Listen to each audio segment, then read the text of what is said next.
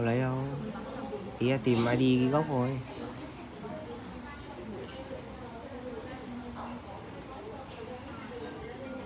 Làm ảnh kiểu như này đi. Có này chưa? Có logo chưa?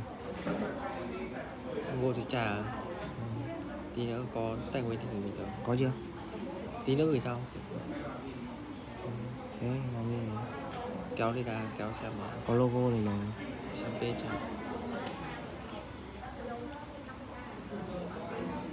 Việt Nam.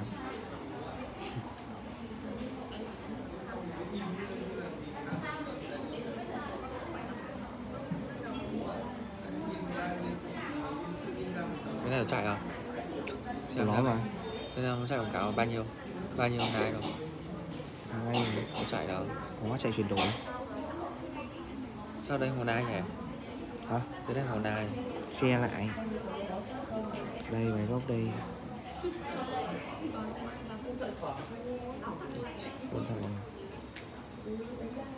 nó sẽ ít.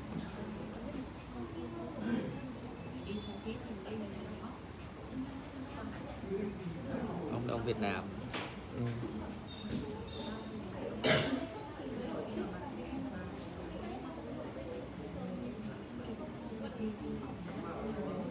nhiều nhỉ?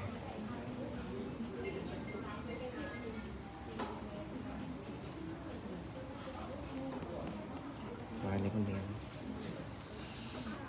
lấy đi bạn.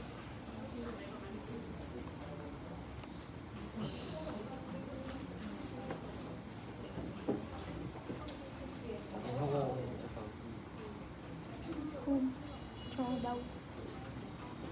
Mắc gì cho. Không phải.